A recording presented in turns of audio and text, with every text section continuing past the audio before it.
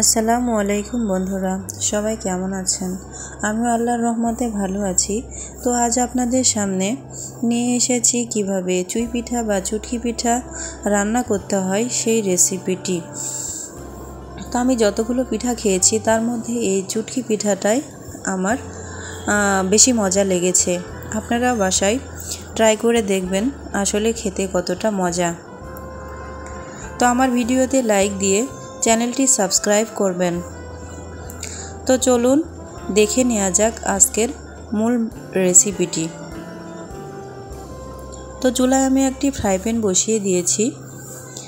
তো প্যানটা গরম হয়ে গেলে আমি এখানে দিয়ে দেব কফি খাওয়া মগে এক মগ চুটকি পিঠা।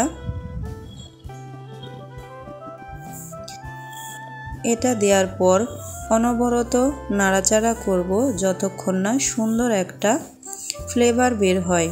সুন্দর একটা ফ্লেভার চলে আসলে তারপর এটাকে নামিয়ে নেব। তো ভাজা হয়ে গেছে, এবার আমি এটাকে চুলা থেকে নামিয়ে নিচ্ছি। তারপর আমি একটি, আরও একটি প্যান বসিয়ে দিয়েছি, এক লিটার দুধ দিয়ে। তারপর দুধটাকে একটু নাড়াচাড়া করে দেব। তারপর দিয়ে দেব দুইটা এলাচ। সুন্দর একটা ফ্লেভারের জন্য আমি এলাচটাকে ফাটিয়ে দিয়েছি।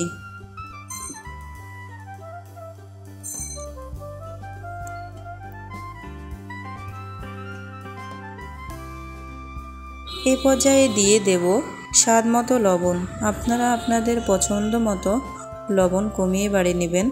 মিষ্টি জিনিসে খুব বেশি লবণ খেতে ভালো লাগে না। তো অল্প করে দেবেন। দুধটা গরম হয়ে গেলে এবার আমি দিয়ে দেব সেই চুটকি পিঠাগুলোকে।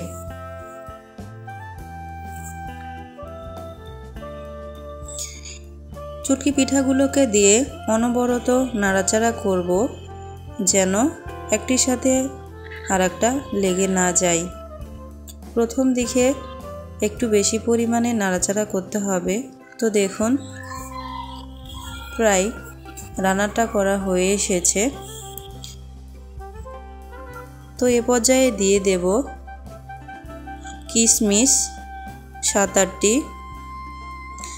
তারপরে দিয়ে দেব বাদাম। আমি এখানে চীনা বাদাম কুচি করে নিয়েছি। আপনারা চাইলে কাঠবাদাম কাজু বাদাম এগুলো ভেজে দিতে পারেন।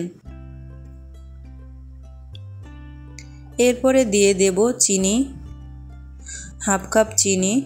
তো আপনারা যে যেমন মিষ্টি পছন্দ করেন, সে তেমন চিনি দিয়ে দেবেন যার যেমনটি পছন্দ। তো এ পর্যায়ে আমি দিয়ে দেব কিছুটা নারিকেল কোড়া। আসলে যে কোনো পিঠা বা সেমাইয়ে নারিকেল কোড়াটা দিলে অনেক বেশি মজা লাগে। এই জন্য আমি এখানে কিছুটা নারিকেল কোড়া দিয়ে নিলাম। আপনারা চাইলে দিতেও পারেন, আবার নাও দিতে পারেন। তো দেখুন, আমার রান্নাটা কমপ্লিট হয়ে গেছে। আমি একটু পাতলা করে রাখব। ঠান্ডা হয়ে গেলে এটা অনেক ঘন হয়ে যাবে। তো এবারে পরিবেশন করে নিচ্ছি।